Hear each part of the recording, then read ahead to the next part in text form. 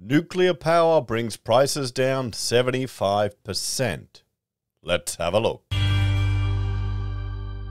Good morning, everyone. Florian here, and welcome to another episode of Heise Says. Grab your stein of coffee and let's check out this article about, well, how nuclear power has helped bring power prices down in Finland a crazy amount. Now, I'm not afraid of nuclear. Most educated people are not afraid of nuclear and appreciate the value that it can add to a well a stable car- low carbon energy production system. But there's a lot of fear about it unwarranted. Uh, probably honestly i'd say the simpsons are part to blame for that among many other things. So people will just normally be terrified of nuclear power. Like well like the hippie architect i worked with years ago that was terrified of her microwave. It wouldn't put anything in it. And I was trying to explain that the little metal cage there, you know, the, the size of those holes mean that the waves couldn't get out. And they couldn't understand that. There you go. This is what we're dealing with, everyone. Maybe you've got to pass grade 12 physics before you're allowed to um, have any opinions on nuclear power. What do you reckon? Just as a bare minimum. So let's check this out because this is this is good news. This is encouraging news. Nuclear power helps bring down electricity prices by 75% in Finland. Wouldn't that be good? Imagine a 75% reduction in your power bill. Oh, I I don't even know how I'd respond to that. So, the start of a much delayed nuclear plant in Finland has helped bring down electricity prices by more than 75% in the Nordic country. The I'm going to butcher this Olkiluoto 3, Europe's first nuclear plant in 16 years, began operating in April and is capable of meeting up to 15% of the country's power demand. Nuclear made up a third of Finland's total electricity generation in 2021. Average spot electricity prices in the country fell to 60.55 euro per megawatt hour in April from 245.98 per megawatt hour in December, a decrease of 75.38% according to Nord Pool, a physical electricity exchange. In December, Finland, which halted electricity imports from Russia over its invasion of Ukraine, was preparing to roll uh, preparing for rolling power cuts due to high energy demand for heating during the winter. I mean, here's the the ironic thing is in many of these European countries that get much, much colder than Australia, you're going to be living warmer than you are here. I mean, you can see here I'm in my um, Eastern European style jumper, and I feel like I need some Adidas shoes and a cigarette. But anyway, you know, I'm, it's bloody cold right now. And I've worked with architects who've immigrated over from Germany. And they go, Why is it so cold in Australia? These windows are only one pane of glass. It's insane. And just it's a different world, and you can kind of put up with a bit of cold. It's good for you. Anyway, we've had more stability in the system because of OL3. It's a huge nuclear plant, one of the biggest in the world, connected to a small system. It has its own risks, which we are happy to follow up on. Jaka Suen, chief executive of Finland's national grid operator Fingrid, has said. I mean, it, that's the thing. All of these things have risks, and you can manage the risks. You can minimize them. A nuclear plant is not going to go critical. It's not. It's not going to explode. It'll overheat, melt. You can manage it, and it's not the bloody. We're not using '60s tech anymore and having you know incompetent Soviets running things. There you go. Biggest um, nuclear disaster in the world. Lefties running the show, huh? They were probably all unionized party member workers, I bet. Just saying. anyway, the 1600 megawatt Olkiluoto 3 nuclear power plant joins two other reactors, each with 890 megawatts of capacity, at the site in um, Western Finland. Despite rising contribution of the nuclear power, Fingrid expects wind to be the largest energy source by 2027 amid rising investments. Now, let's just, uh, well, look at an example. Wind is a huge provider in in um, oh hang on, wait a minute. I'll bring this up here, wrong screen. So wind is a huge provider of electricity here in Australia. Well, in Victoria. And let's jump over here and have a look.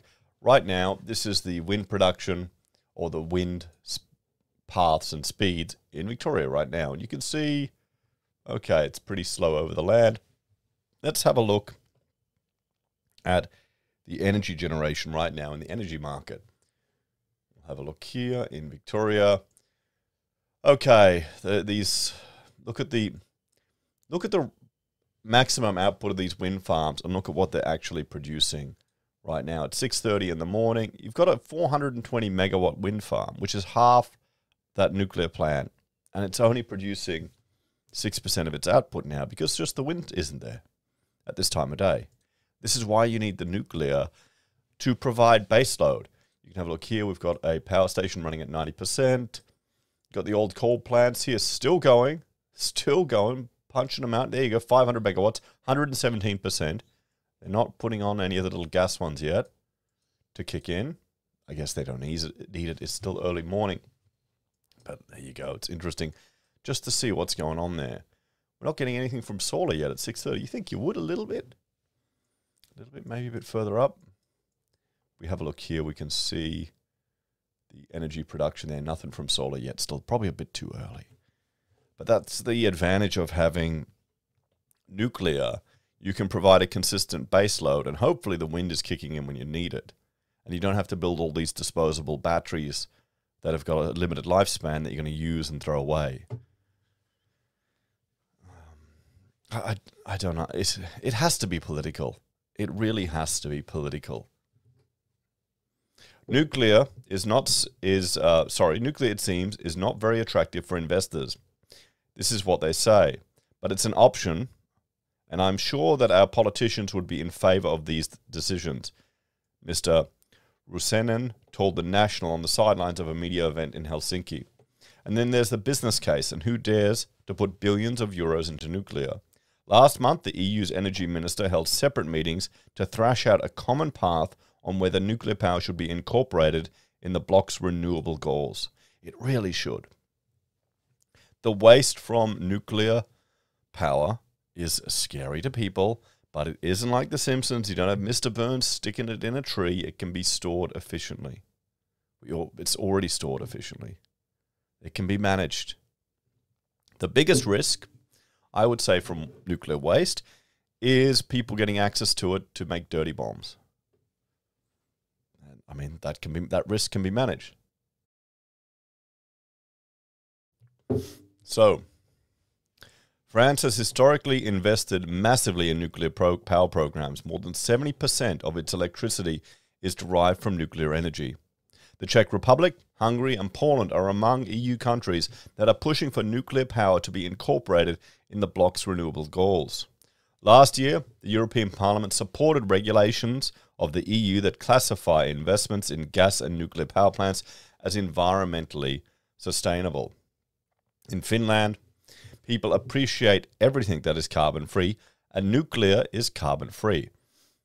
No, it's not. It's not, guys. It's not carbon free. There is an embodied carbon in the, well, in everything. Everything has an embodied carbon or an embodied energy put into it. That's just the manufacturing of it. They, they seem to just focus on the actual generation of the power when they say carbon free. But to build a nuclear plant, that has a whole lot of embodied energy in it. To mine the uranium that you need and process it and transport it, where's it coming from? Is it coming from Australia? Could be. I, I haven't checked. But let's say if it is, the diesel burned in the ship, sending that over to Finland. That's pollution, that's carbon that's being released and used in this process. That all has to be taken account. You need to take account of cradle to grave, or hopefully cradle to cradle, but cradle to grave. So the lifespan of this infrastructure needs to take account of all of that. So there's going to be a few years where this power plant is running and it's not producing any carbon and generating the power, but it's working off the carbon debt that it has that's been used in the manufacturing of the entire plant, the transportation of all the materials, all of that. Now, hopefully with a nuclear plant, they can have a extended, quite a long lifespan. You know, you'd want these things to be designed 50 years, if not more. Now, the concern is with a lot of the renewable stuff, the lifespan may not be long enough. And the energy output, like the wind we saw there, it has to meet a certain percentage of its maximum output in order to achieve a net benefit. Because if if the manufacturing and construction and mining, all of that embodied energy isn't worked off in the lifespan of the infrastructure, then you might have might as well have just used gas or existing infrastructure that you already have.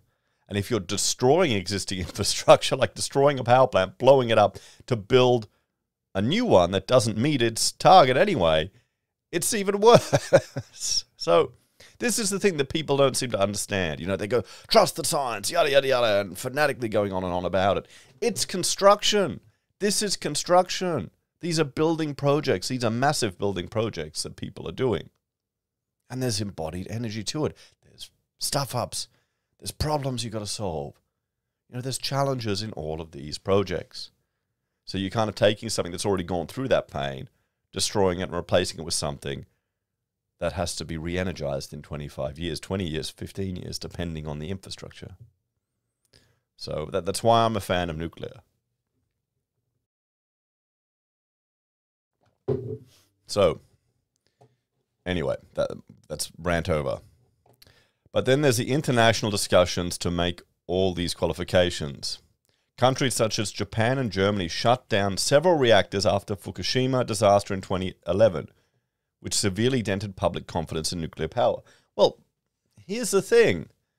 The the pollution was manageable. The water was treated. It was a freak situation of a, uh, what, a tsunami. It should, pro- you know, the plant didn't blow up. It didn't go super critical, did it? Not that it could. You think it would improve people's confidence, but they don't. They don't get it. I mean, Thunderf00t has some good videos debunking a lot of the bullshit about it. People are terrified about the radiation coming from it in the water, and uh, it's it's just fear. This is the problem. It's just fear. It's no different to climate hysteria. It's no different to economic hysteria. We're just fear-driven organic little sacks, aren't we? We really are. Hormones and fear, that's the two things that get us going.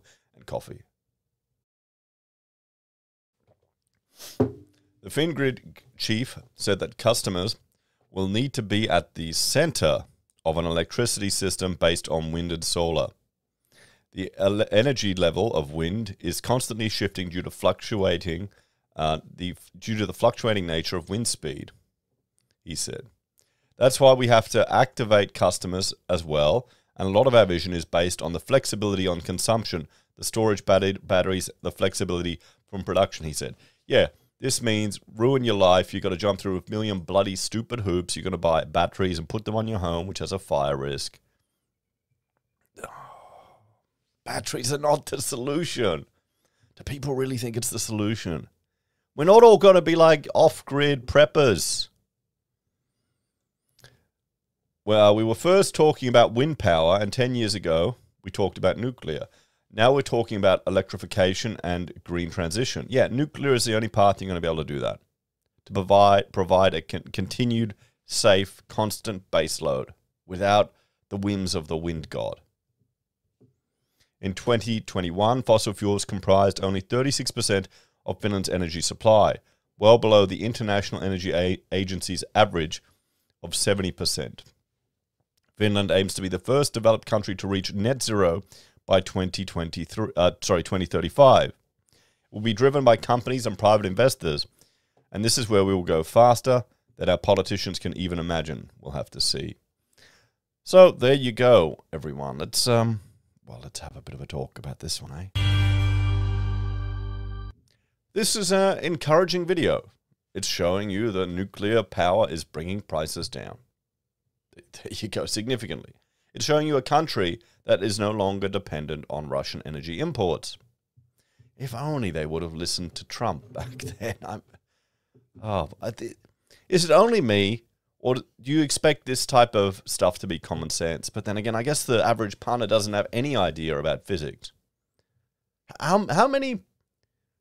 You know what would be interesting would be to see the education level or just what subjects people did and how they vote. How many greenies do you think did physics at high school? I'm just trying to think about the type, you know, the, the stereotypical Greens voter. I mean, if they did, they'd understand nuclear is fine. You can manage all the risks. I wonder. There's this whole push for renewables and net zero is politically motivated. It's very politically motivated. The push should be to have cheap, reliable, dense power. You know, we shouldn't be building acres and acres of solar panels, destroying all the land. We shouldn't be putting wind turbines everywhere that you have to blow them up to pull them apart. This is going to be a nightmare to, uh, to manage all this infrastructure. We've got nuclear submarines now. Maybe it's time we got nuclear energy. Uh, it's probably not going to happen anytime soon. It's certainly going to take a long time to happen. We just need to get a decent industry established. And then cheaper power for everyone. You got no chance of having manufacturing in Australia running on wind turbines, guys. It's not going to happen. Anyway, thanks for watching. Check out Heise BIM or Heise Does. And if you're a fan of the channel, you can support us on YouTube or Patreon, use our referral links, buy our pocket squares, or call us if you need an architect. Take care, have a great day, and I'll see you next time. I have to have a play at the new embodied carbon features of Revit 2024. That should be interesting to have a look at. I might play with that now. Take care, guys. I'll see you next time.